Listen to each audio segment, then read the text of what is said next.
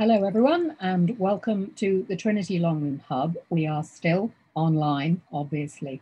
Uh, my name is Eve Patten. I'm director of the Hub, and I'm very pleased to welcome you to uh, the latest in our Faculty in Focus sessions. And the Faculty in Focus sessions give us an opportunity to catch up with one of our colleagues in arts and humanities and find out a bit about what they've been doing and, and to talk a little bit uh, about their research. Uh, so today I'm really pleased to welcome Dr. Peter Hamilton. Uh, Peter, you're very welcome to the Hub.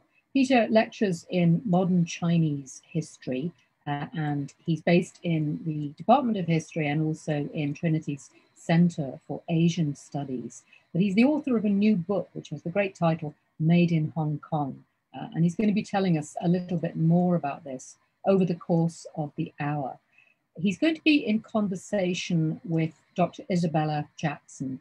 Isabella is also uh, from Trinity's Center for Asian Studies, uh, and I know many of you will know her from previous appearances uh, in the Trinity Long Room Hub. Isabella, many thanks. Very good to see you again.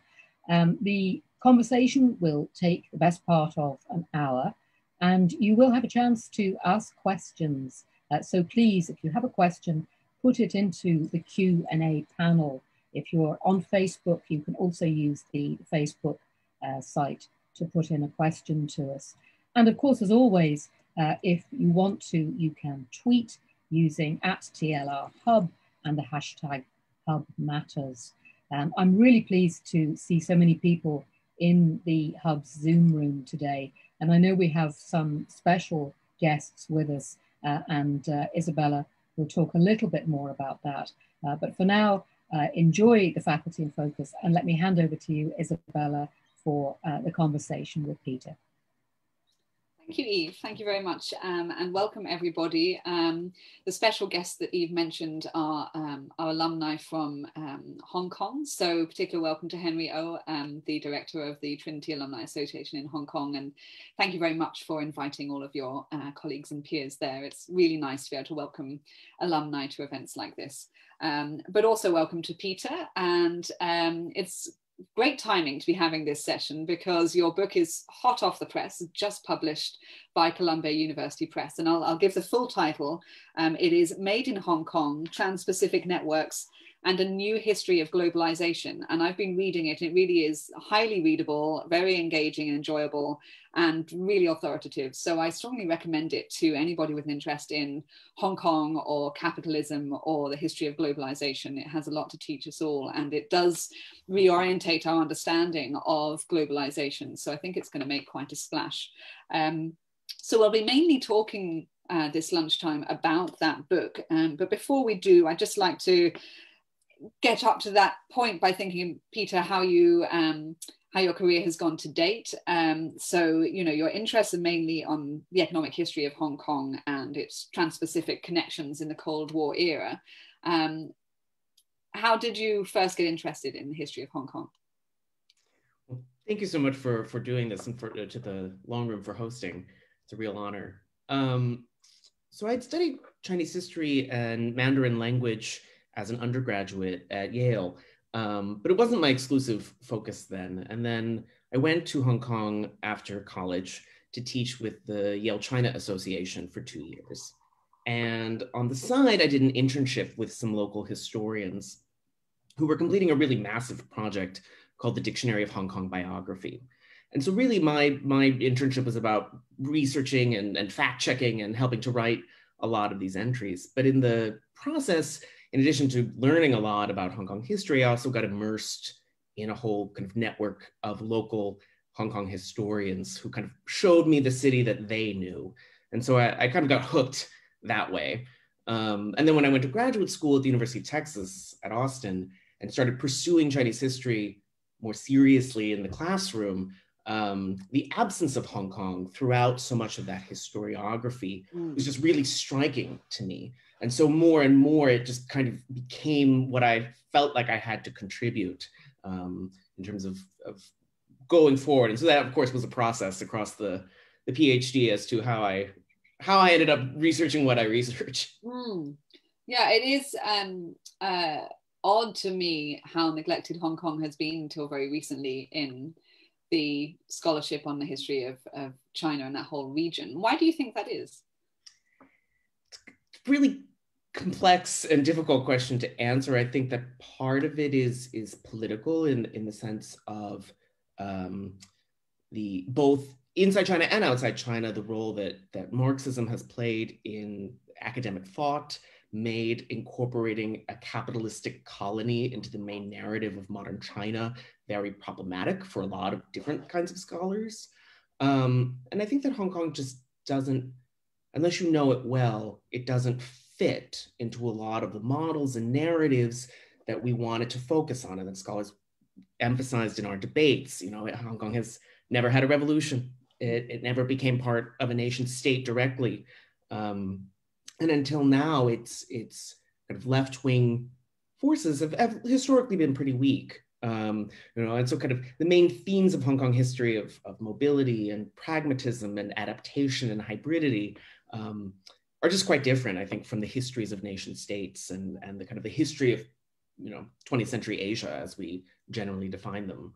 Absolutely. It is a real outlier, Romanian colony until 1997. So we'll we'll come back to that. Um, but before we do, you had never been to Ireland before you came to work at Trinity a couple of years ago. So no. you've lived obviously extensively in Hong Kong. You've lived all over the place. Um, tell us a little bit. You've touched on, you know, you're at Yale, uh, you're at the University of Texas. Um, where have you enjoyed living most? Where has been more challenged? How did you adjust to living in Ireland?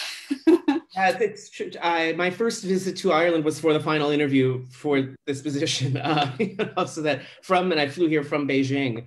Um, and unlike so many Americans, I my family is not of Irish descent, so there really was very little linkage before before I came to live here. Um, and it's academia has made me a perpetual or repeated migrant in many ways, and it's been both difficult and challenging in some sense, but also such a great privilege to live in so many different places. And so from Hong Kong, I moved to Austin for graduate school, but then throughout graduate school, I was kind of shuttling back and forth because my research increasingly focused on Hong Kong.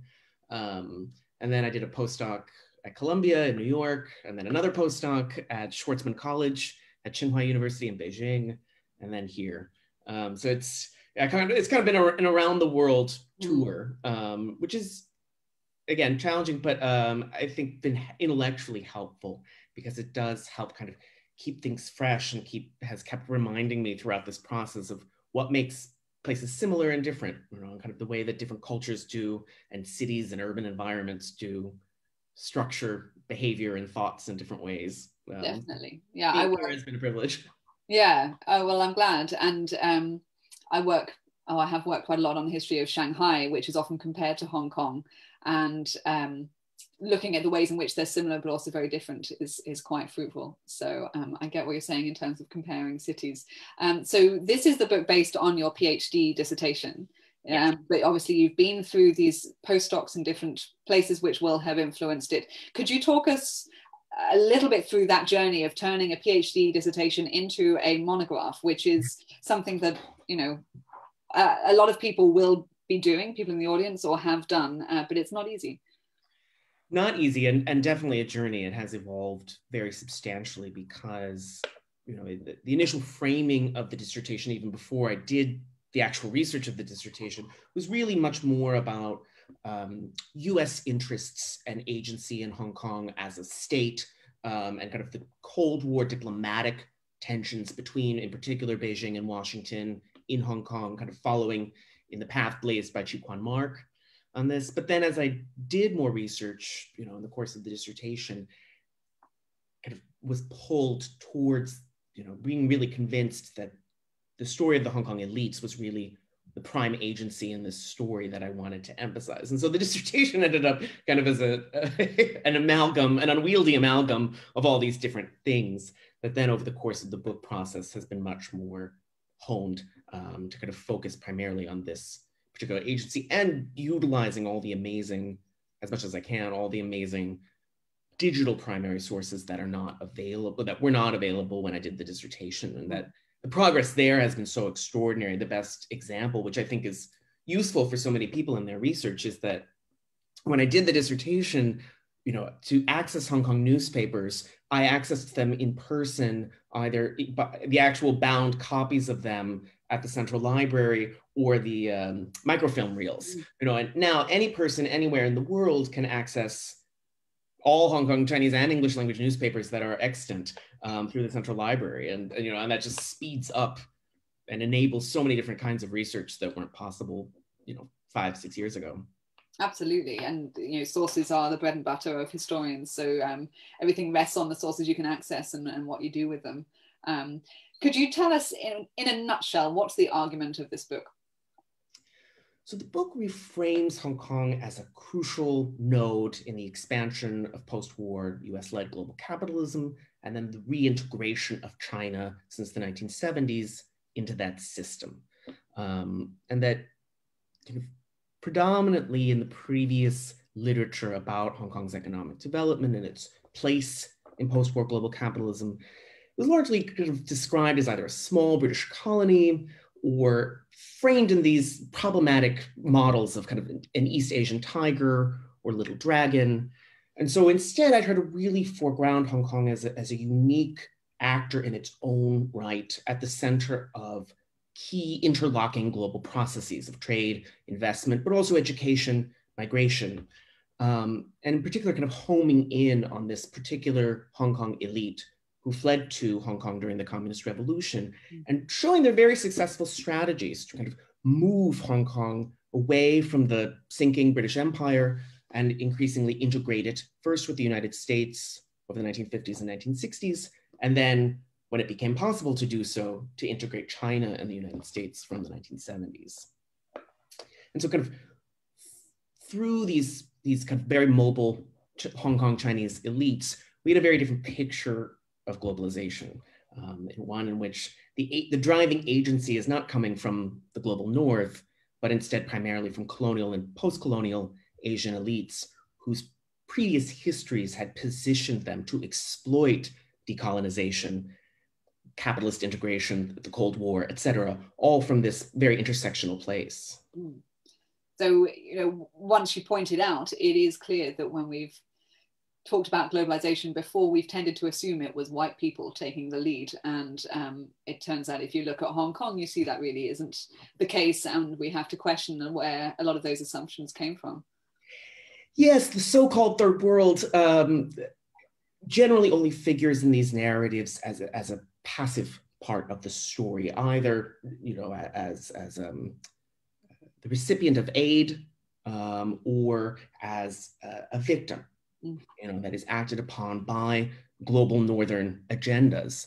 And that Hong Kong helps to show us that it, we need a much more nuanced terrain here, um, and that Hong Kong elites, ha, you know, were very well positioned to uh, both by their own backgrounds and the particular opportunities that Hong Kong as a place gave them um, to exert their own influence and agenda over how these things played out and to enrich themselves um, kind of at the intersection of all this.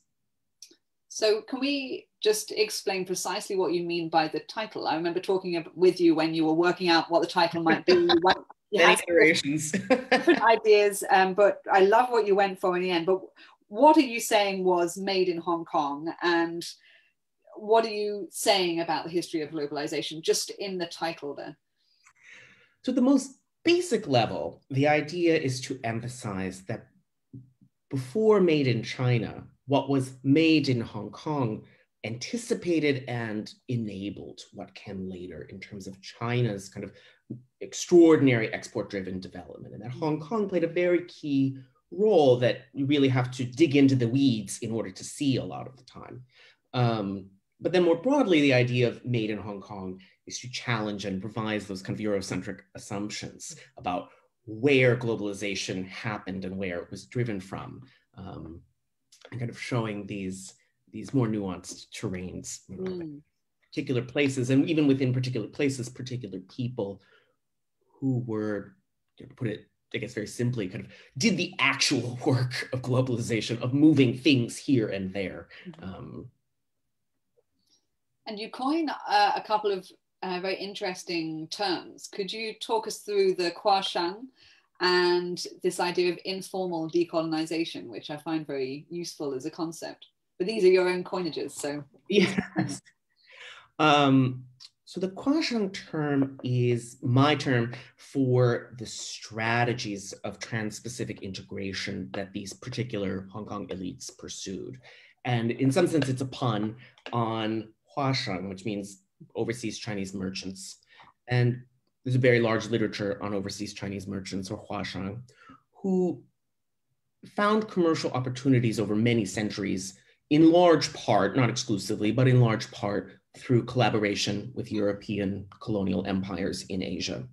Um, and after 1945, as those European colonial empires disintegrated, many places that had been similar to Hong Kong, other free colonial port cities and free ports, were absorbed into these nation states, and that Hong Kong becomes increasingly very unusual as an extension of this older world. And so Huashang in Hong Kong um, continued on, but now they kind of needed to collaborate with the new hegemon, and that's the expanding US empire. Um, and as a result, had to adapt their strategies. And that is what the Kuashang strategies are, as the adaptation of previous kinds of collaboration with European empires toward the new US hegemon. Um, and kind of piggybacking off that, informal decolonization is my term for kind of their, if you want to call it a political agenda, um, the ways in which, as these Kuashang strategies paid off into new forms of power and privilege in Hong Kong, that many of these Hong Kong Chinese elites then became increasingly assertive about um, claiming positions of status and influence and decision making over Hong Kong, away primarily from British hands. Um, that their, their goal was not to overthrow the Hong Kong colonial government, which would have harmed their interests, but instead to steer it in a direction that was more useful for themselves, um, and even to some sense hollow it out for private gain um, by claiming these positions and pushing their own agendas onto the Hong Kong government. And that's that's what I try to capture by informal decolonization.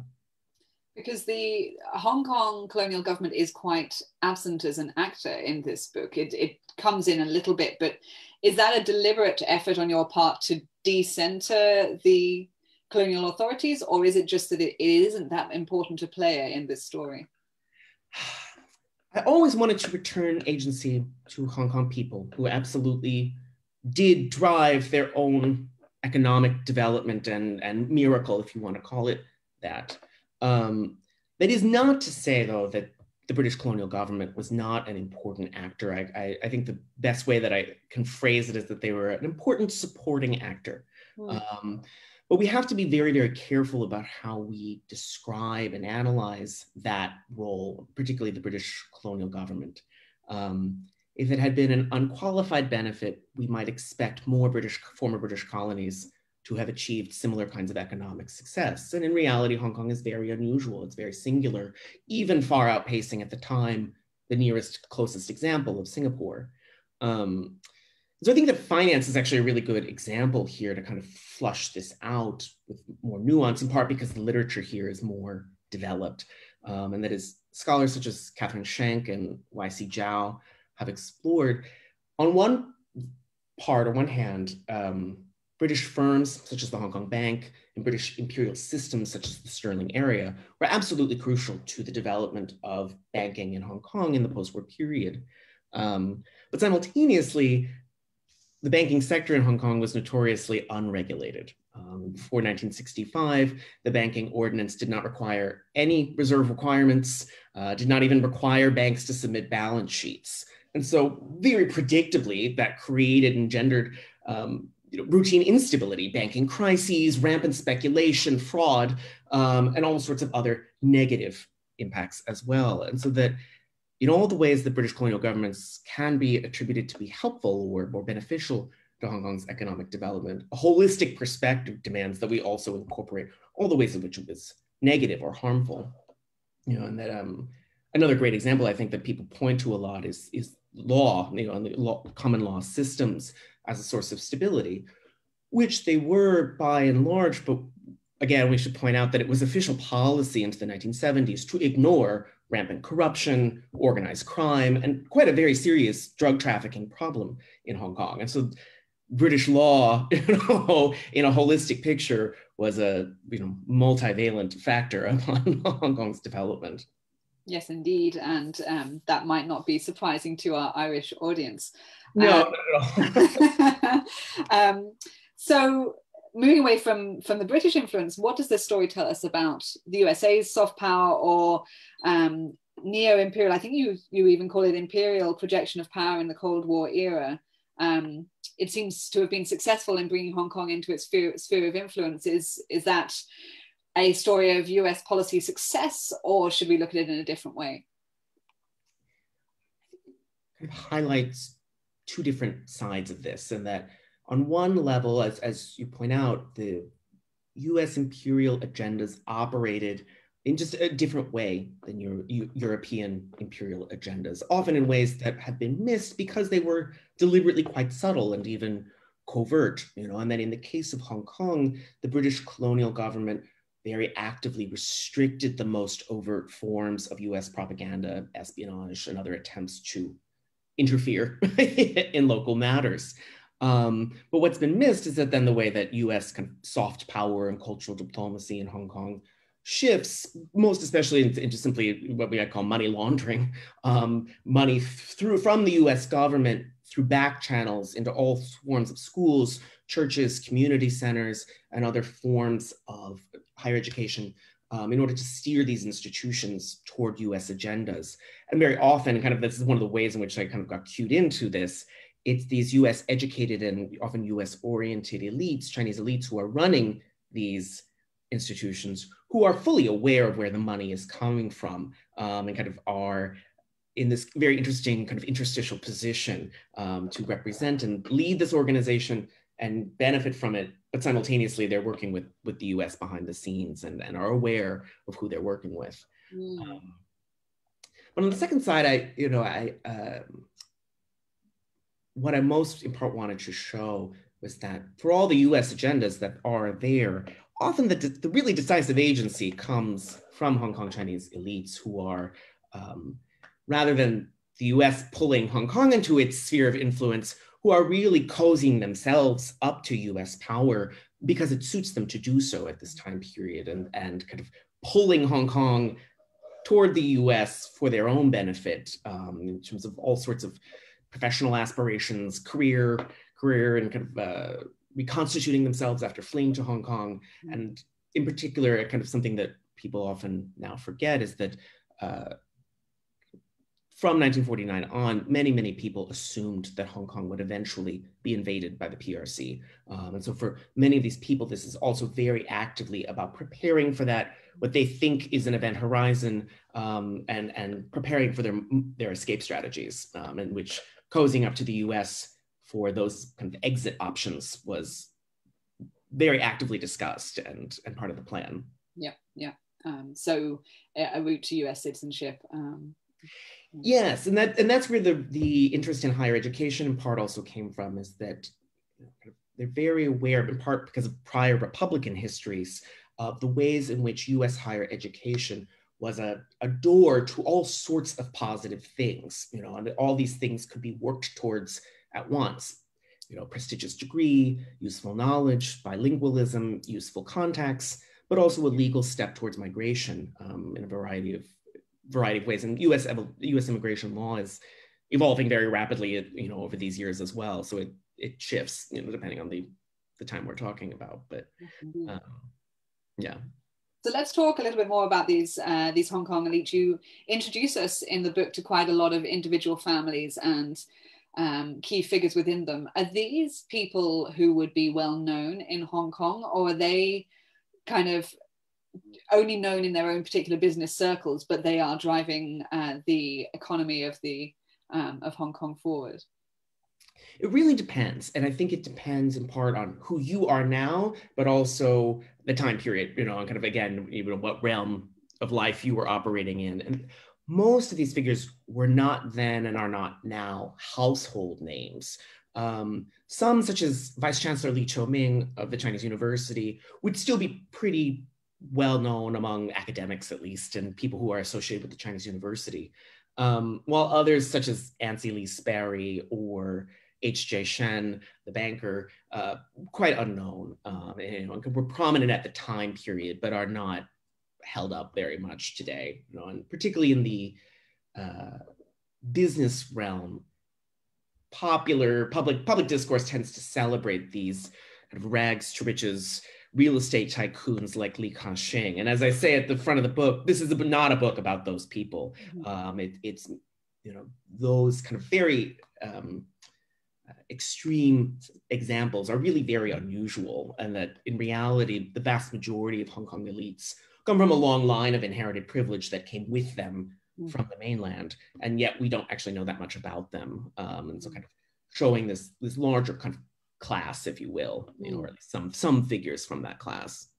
And they had migrated multiple times potentially. If they had perhaps come typically from Shanghai to Hong Kong and the um, you know sort of uh, as the communists approached um, in 1948-49, they had most of them, their families would have arrived in Shanghai from somewhere else, uh, maybe somewhere close by, um, uh, maybe Ningbo, um, but maybe further away. People went up to Shanghai from Guangdong and then could have hopped yep. over that down to Hong Kong. So um, did they retain, this is interesting to me as someone who works on Shanghai, did they retain those kind of original native place identities? Or once they had come from Shanghai to Hong Kong, were they just seen as people who had originated in Shanghai? And then how quickly did they or did they not integrate into Hong Kong Cantonese speaking society? Yeah, the people who become called Shanghainese in Hong Kong, as, as you point out here, you know, really are actually from a wider swath of kind of lower Jiangnan, lower you know, lower Yangtze Jiangnan region, um, Wuxi, Ningbo, other places, and that it's part of the reason that I felt I needed to begin the story in essence in 1937, um, and that many of these families particularly a theme that emerged and came out over the course of the research was how many of these families had first begun relocating, most especially in, in during the war, you know, and taking refuge in the foreign concessions mm-hmm. during the war in order to kind of preserve their business interests and collaborating with Japan and kind of showing this continual theme of collaboration um, before relocating again, you know, in the years surrounding 1949. Um, and then in Hong Kong, it just really depends, you know, and it, at first, kind of a, if you will, a first generation of migrants from Shanghai really did retain a pretty high kind of association with that culture and the Wu dialect as a form of identity. Um, often living together. So North Point was was called Little Shanghai at this time. So often settling in some areas together. Um, and forming, you know, as, as would be familiar to any scholar of China, kind of native, reforming the native place associations so that kind of combining the Jiangsu Zhejiang native place association into one big association at this time. Mm-hmm. Um, but how much they integrated into local society really depends on the person. You know, that some of the examples, you know, intermarried and, and of uh, raised their children also speaking Cantonese, but a very high number of them, such as the Tang family that I use throughout the book as, as a through line, um, uh, never learned Cantonese and were quite proud of that fact even. Um, they kind of looked down on Hong Kong as, as a backwater that they considered beneath them. Um, and so their whole life continued in, in English and Shanghainese. Mm it's funny how um, Hong Kong and Shanghai have sort of bounced back and forth as to which one was in the ascendancy and which one was a comparative backwater, and they have swapped places a couple of times, haven't they? Um, yes, you know, and and um, as I point out, you know, there there definitely are some migrants from Shanghai whose origins are Cantonese originally, right. actually, exactly, but became Shanghainese over the, over that century. Yeah. Um, now, we've been talking about elite men. Um, what role, if any, do women play in this story? And is there anything to say also about kind of ordinary Hong Kongers, people who may have worked for these elites, um, but also you know, played a part in the colony becoming so, um, at least wealthy in terms of um, uh, its finance and GDP and manufacturing and so on? So as I say in the book at one point, you know, inadvertently, it is really a story about patriarchy. Uh, that this, this, my sources at least, were filled with men um, in, in very large part because fathers chose sons over daughters um, for these prestigious higher educations and then often to inherit the company or, or take over in various ways. Um, that's not, of course, to say that women were unimportant and that, you know, particularly within these Kuashang families, trying to highlight as much as possible as the sources can of the ways in which um, you know, the matriarchs of the family were decisive bearers of social capital, um, often very influential advocates about the educational choices for their children, and often just as shamelessly elitist as their husband about some of these, these decisions. Um, in terms of ordinary Hong Kong people, though, of course, you know, um, uh, the primary contribution um, was their exploited labor, um, and that you know Hong Kong's manufacturing boom throughout the 1950s and 1960s is uh, people debate the use of the term sweatshop in various various forms, but it, it is uh, you know there's no minimum wage. Uh, they're very long hours. The factories run 24 hours a day. Often they don't have air conditioning. Um, it's a big innovation and, and game changer when air conditioning does come in. Um, and very often women, um, as as in Shanghai uh, before 1949, the majority of textile workers were were women and remained women in Hong Kong. Um, as well as children. We should we should emphasize that child labor was legal in Hong Kong, in part because of some of the people um, in this project um, who successfully pressured the Hong Kong colonial government to lift its previous bans on child labor um, in order to so they have the right to work um, you know, before the introduction of universal primary education. and when did that come in? 1971, um, which is part of the, I think, the interesting conundrum around all of this, that, you know, as late as the 1960s, I think it's something around 15, 18%, only 15 or 18% of Hong Kong people even attend secondary school, you know, and universal primary education is not achieved until 1971, you know, and simultaneously in the very same years, Hong Kong is becoming the world's largest sender of foreign students to US colleges and universities. And so you have a huge gap there, um, a kind of grotesque inequality that is playing out in, in this development model um, that I at least argue, you know, we really have to look at on its own terms. Mm, mm. And that's um, when uh, people sometimes point to Hong Kong as this uh, great example of the success of a laissez-faire um, approach to uh, governing an economy. Uh, that's that's the downside that it's not.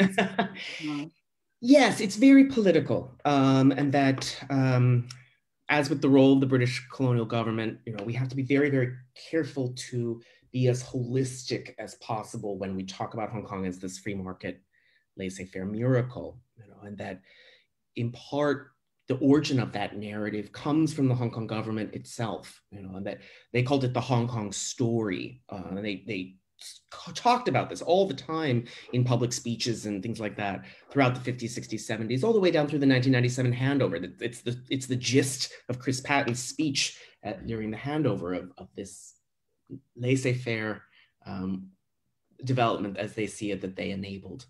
Um, and that kind of what i'm trying to highlight here is that at the very least you have to incorporate another half of this story hmm. when you want to talk about that narrative um, and highlight the, the, grotesque inequality here and the, the exploitation that um, not all Hong Kong people were in any way compared to compete in a fair, in any kind of fair way.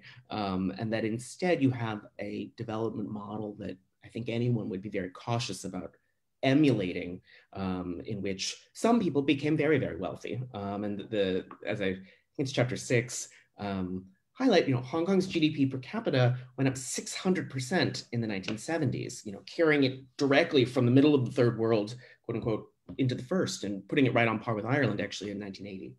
Um, but that those benefits are by no means equally shared. You know, it's you're you're really talking about the empowerment and creation of a of a global elite in the form of these these Hong Kong tycoons. Hmm. Um, reap the lion's share of the benefits from from this model. And it's in that period, the 70s um, and moving into the 80s, that you suggest in the book Hong Kong played a pivotal role in the opening up of mainland China um, to to the US to the kind of um, increasingly globalized economy. Could you expand on that for us today and explain what's your new contribution really in understanding the origins of that um, reform and opening up process? So by roughly about 1960, Hong Kong's major trading partner and investment partner is the United States. It has shifted really radically in that direction. Uh, and kind of one of the you know kind of main figures there you know regularly describes the U.S. market as life and death for Hong Kong. Um, so when Sino-U.S. trade, uh, oh, I have an alarm going off in my building. Um, when Sino-U.S. trade um, reopens in 1971, that's a really key signal for Hong Kong companies of all shapes and sizes um, that they can increasingly engage with mainland labor on behalf of their US clients. And of course, this you know, goes slowly at first, you know, but some, you know, begin outsourcing things like matches, fireworks, etc., into the mainland from well before 1978. So chapter seven really tries to push back that timeline and that routine emphasis on 1978 as this major breakthrough period, and showing that from Hong Kong's perspective, a lot of this was already in motion and common knowledge by the mid 1970s, that China was changing and that more opportunities were on the way. At least they assumed so, kind of presumptuously, even. Um, and that then from 1978, you're really talking about an acceleration of what was in motion already as more and more things become possible and become attractive. Um, but really emphasizing there that kind of, uh, it was not inevitable.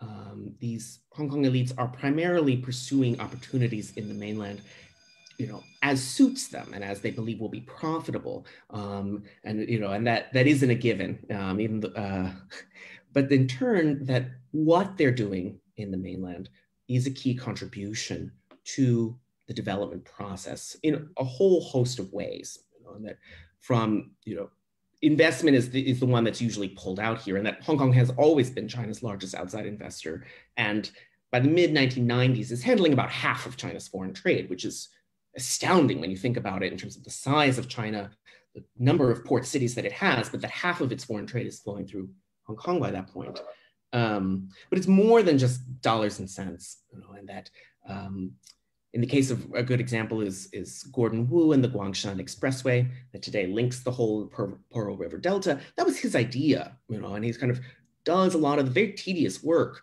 to push that project forward because he thinks it will be very profitable, um, but also because he can see in advance, well before owning a car became a, a, common thing in the PRC, that this would be something you need to do now um, and prepare for, um, as well as all sorts of kind of technical knowledge and that uh, and kind of incorporation into regulatory structures. International trade is extremely regulated, even you know at the height of this, you know, triumphalism about capitalist globalization. And the best example is textiles and apparel, which is extremely regulated.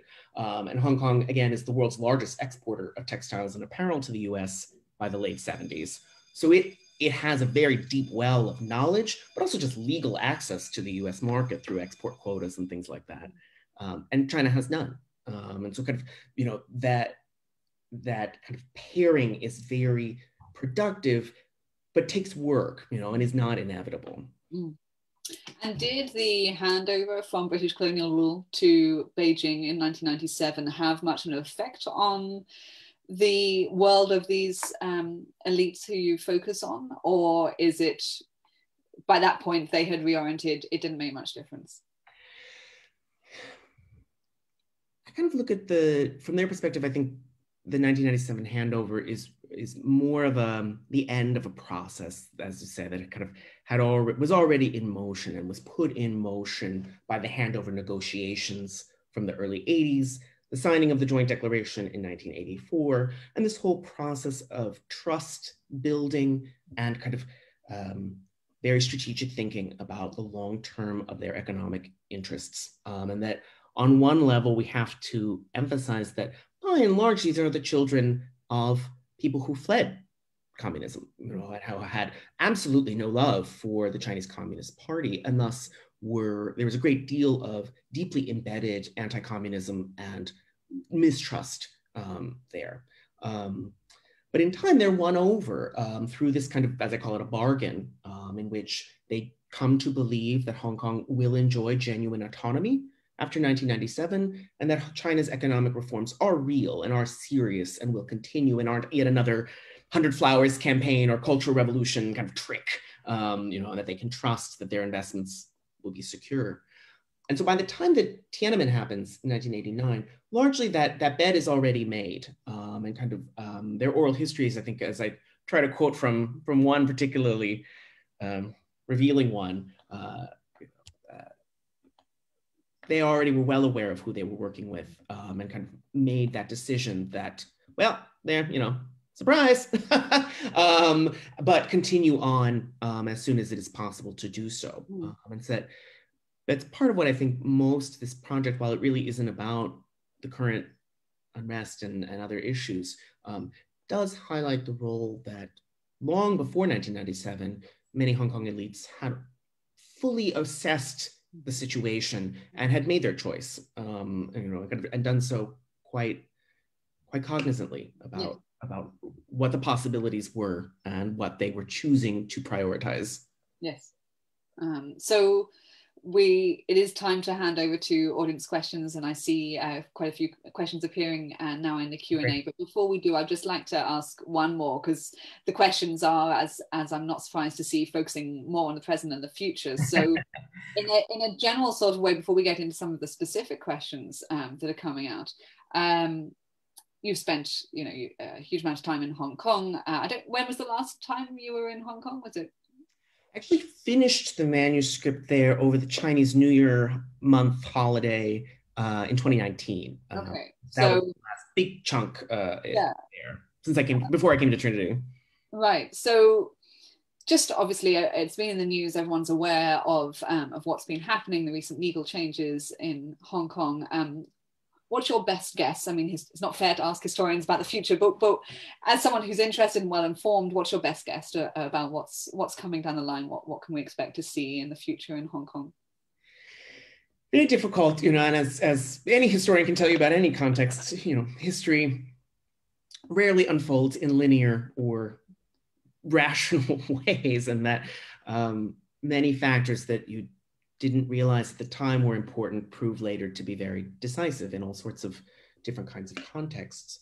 But I do think that across the course of Hong Kong history, that Hong Kong people have proven themselves continually to be very pragmatic, adaptive, and mobile, um, and that you know Hong Kong has continually defied the odds in many forms of crises and turned those crises into opportunities um, in various forms. Um, kind of the quote I always think of, which is a little, you know, many Hong Kong people would roll their eyes, but you know, that I think is useful for if the audience is less familiar with Hong Kong, is kind of the quote of um, Hong Kong's perhaps most famous son, Bruce Lee, you know, to to be as water, you know, and that water adapts, water survives, uh, and that that in some sense, you know, I think does capture a lot of the spirit of Hong Kong that mm-hmm. you know uh, will find its way.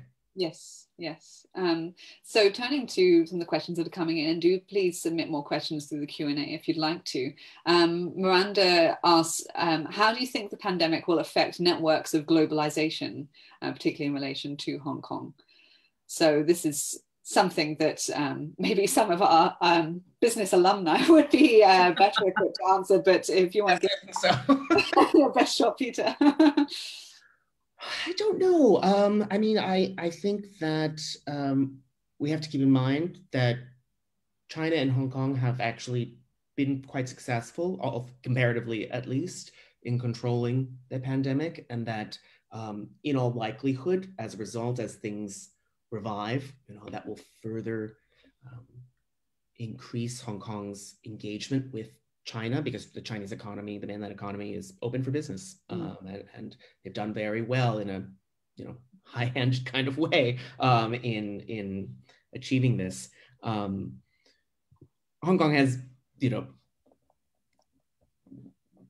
long since you know begun to de-emphasize the U.S. You know, and that what I talk about in the book, you know, really is a history at this point, um, and that in that sense, Hong Kong has diversified um, its interests and pivoted much more towards mainland China as the mm. source of economic opportunity. Um, but yeah, with the, the pandemic, I think all, all, bets are off. I don't know. yeah. Um, and then um, Giovanna asked about your interactions with China. I'm guessing she means the Chinese authorities while you were working on this book, um, and what sort of reactions are coming out of China so far to the book, or what what, what reactions you might anticipate.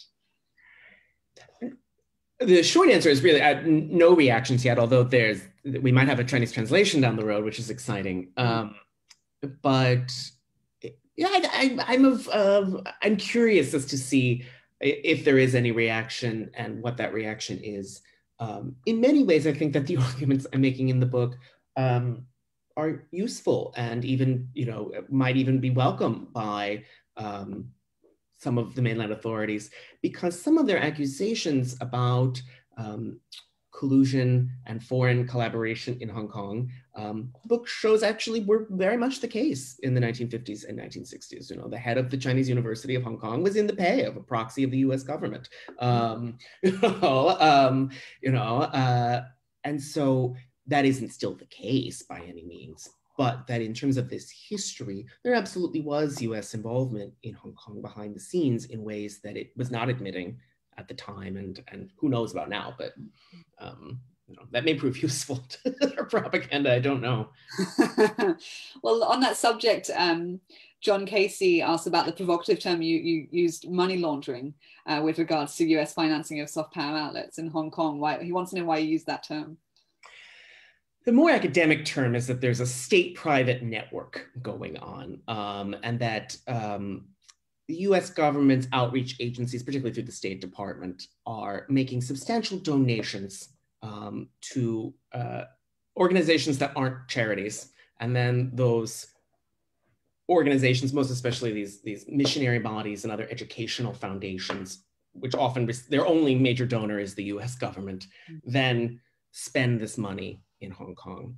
Um, and it does alarm the colonial government on money laundering and other issues and they generally just choose to ignore it like they choose to ignore a lot of other issues at this time period that are explosive to touch. Um, but they're they're well aware of many of these organizations in hong kong but they're not private organizations and that the bulk of their funds comes to us and that's been very useful to my research as the colonial government keeping tabs on all of this and how many dollars are being spent.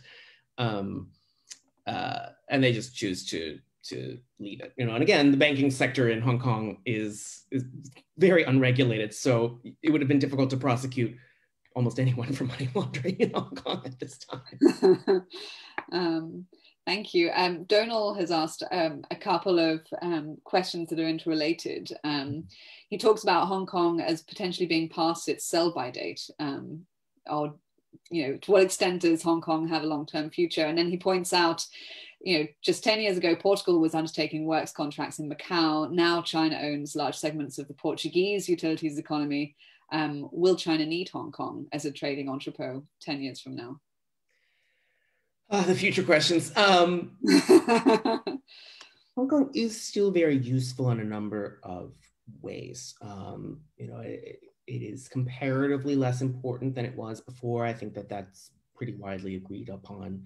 Um, but it still plays several key functions in the Chinese economy that it doesn't have to anymore. It's no longer a question of expertise per se or, or anything like that, but instead a question of how the Chinese government wishes to design their economy to operate, you know, and that the easiest example is foreign exchange, you know, and that, you know, uh, Hong Kong is still basically exclusively the center of foreign exchange dealings, you know, um, and that this suits them in a variety of ways. Um, Hong Kong is also a very useful out valve for things within the Chinese economy, um, outflows of money um, mm.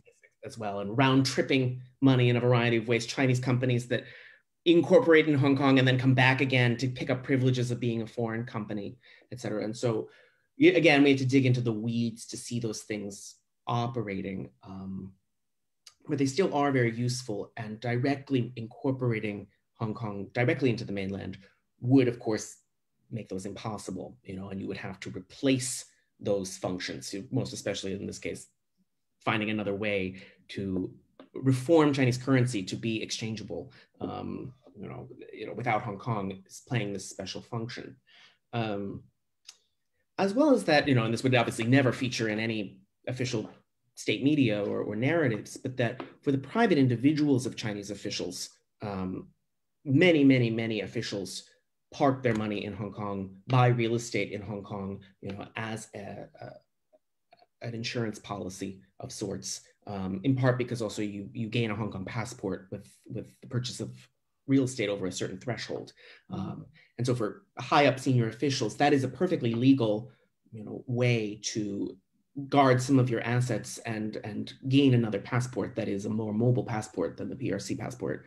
Um, so in all those ways, Hong Kong is still a functional you know, functionally useful place for the PRC economy. And my guess, you know, which again, take it with a grain of salt, but I would, my, my prediction would be that by and large, Hong Kong will play a kind of, remain a separate kind of Monte Carlo kind of place um, that is useful in its, in its mild separateness um, for, the, for the foreseeable future. I mean, I haven't been since 2017, but it certainly didn't feel like it was um, past its sell by date then. Um, you know, it's it's such a vibrant um, economy, a vibrant, um, lively, youthful place. Um, it's it is there is a lot of wealth there. You know, that's. Oh, yeah. I mean, um, you know the uh, way, isn't it? Um, you know, just in the again the most kind of basic way, you know, for initial public offerings, you know, the vast majority of of Chinese companies that go go public, you know, do so in Hong Kong and thus become legally Hong Kong companies. Uh, mm. Uh, that is useful. Um, you know, and kind of uh, opens up all sorts of different doors mm. for them. Um, you know, uh, not always obvious to see, but they're there. So, um, taking us in a slightly different direction, one of our PhD students, um, Luca Yao, asks um, if you have come across any sources about the children of these Kuashang um, families and what was it like growing up in this trans-Pacific transnational environment where they would be? You know what kind of schools were they going to? At what age might they first go to the US um, so um, just looking at that um, the the child's perspective on all this. Yeah and that um, in the 70s and 80s it, it, it is those children who have largely grown up in Hong Kong as the children of the migrants who came around 1949 you know that kind of the book begins to focus on um, but I've managed to speak with or do research on lots of the other descendants of the people that I talk about, many of whom no longer live in Hong Kong. And so that's another reason that this history is interesting, but also difficult to track and kind of doesn't show up in necessarily a concerted way in Hong Kong. And that what I'm talking about is not an identity, um, never really coalesces in that way. Um, and that often the kind of the the educational choices that were this long-term strategy did indeed begin you know, in elementary and secondary school, and depending on who we're talking about, either kind of these elite, you know, kind of international schools in Hong Kong, but for much more ordinary families, you know, particularly limited means after 1949, very actively choosing American missionary schools in Hong Kong as a path, you know, kind of a portal to other things, you know, and that um, scholarship opportunities, recommendations, particularly as I try to show um, as it becomes common knowledge that the US government is much more interested in people who have studied math and science, um, and scholarship opportunities are available there. Um, that pushes people into particular kinds of programs and, and uh, circulations around the Pacific. Um, and of course, also as, as you and I have talked about, um, the other siblings, you know, and that in the course of, of this narrative, I often have to focus on one particular child of, of a family who goes on to take over the company, but that they often have many siblings, um, many of whom live quite comfortable lives in California and other places because they, uh, for better or for worse, they, they didn't take over in the same way that their, say, elder el, elder brother did. Mm-hmm. Um, and then um, I'm going to need to hand back to um, Professor Eve Patten in just a minute, but um, finally, a question from John Casey about um, this new enhanced access that you mentioned to all of these Hong Kong newspapers.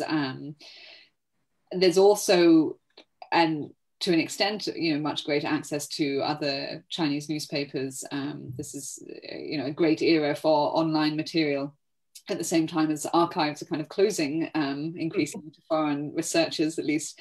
Um, so he just asked, you know, does that help give us insights into official thinking, his words in China, or um, perhaps we could expand that question a little bit to, you know, what were the, the great insights that you were able to to get from some of these newspaper sources? Mm.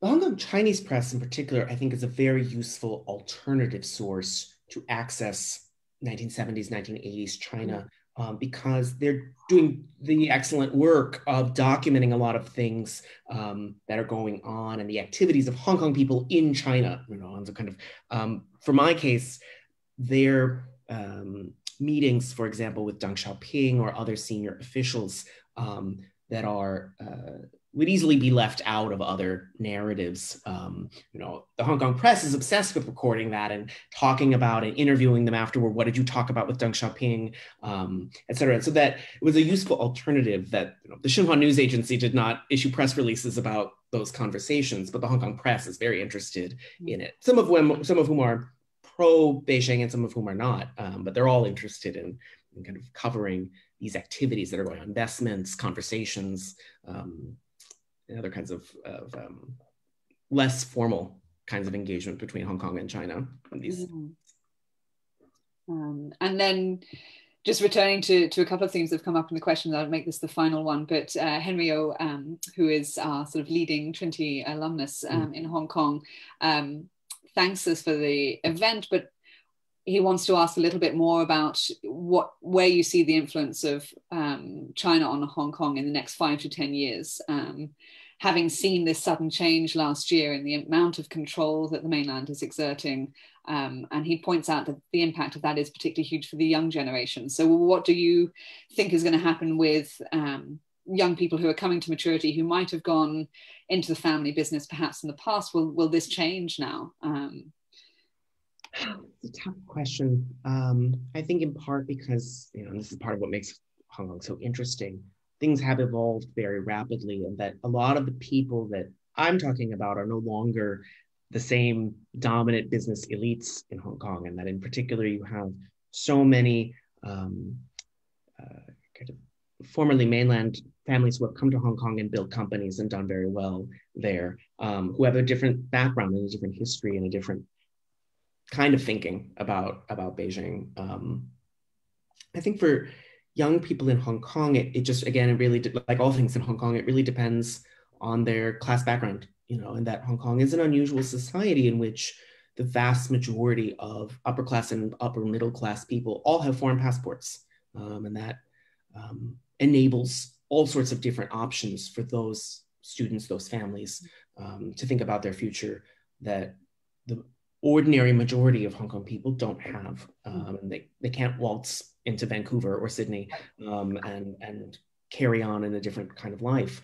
Um, but I think that, you know, to hit back on the themes of the book, higher education will continue then to play an important role in that um, higher education can be a first path to migration if you don't have that option otherwise, you know, through your passport. Um, and that, you know, uh, if, if people want to cultivate other options and consider other destinations, um, that would be one way to do it. Thank you. Uh, um, on that note, I will hand back to um, to Professor Patten. Um, thank you very much, Peter. And the, the book is available. And do look at the Columbia University Press website for Made in Hong Kong. Thank you very much, Isabella. And I'm really reluctant to bring this to a close because I can see lots more really fascinating questions that have come in.